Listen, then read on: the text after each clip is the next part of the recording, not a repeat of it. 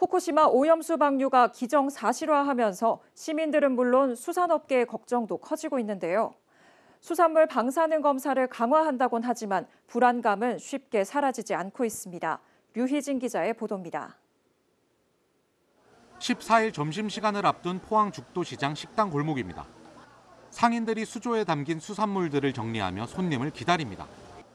평일임을 감안하더라도 손님보다 상인들이 더 많습니다. 상인들은 후쿠시마 오염수 방류에 대한 불안감이 이미 수산물 소비 위축으로 이어지고 있다며 한숨을 내쉽니다. 소비자들이 심리 자체가 아무래도 웅초리다 보니까 지금 매출 자체도 감- 급하게 이제 감소하고 있어요. 지금은 어디 산인지라든지 이런 거는 물어보지는 않아요. 않지만은 아무래도 조금 불안하죠. 지금은. 오염수가 아직 방류되기 전인데도 하루 종일 한 명의 손님을 받지 못하는 경우도 많습니다. 뭐 매출이라고도 할 수 없어요. 다 다주를 보고 어제도 마수도 못하고 가고 그런 사람들이 많고 손님이 없어요. 거의 지금 상인들 얼굴만 보고 있잖아. 포항시 등 일부 지자체는 수산물 방사능 검사 시설을 구축해 검사 결과를 공개하는 등 수산물 안전성 확보에 힘을 쏟고 있습니다.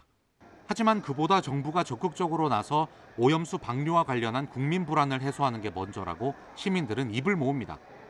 일반 일반 시민들도 진짜 이게 괜찮은가 의심도 생기고 근데 그런 부분을 좀 정부에서 제대로 좀 홍보를 해서 아닌 건 아니고 또 맞는 건 맞다고. 방사능 공포에 쪼그라든 소비 심리가 회복되기는 어려울 것이란 전망이 나오는 가운데 소비 심리 위축 장기화에 대한 피해는 고스란히 상인들의 몫으로 남아 있습니다.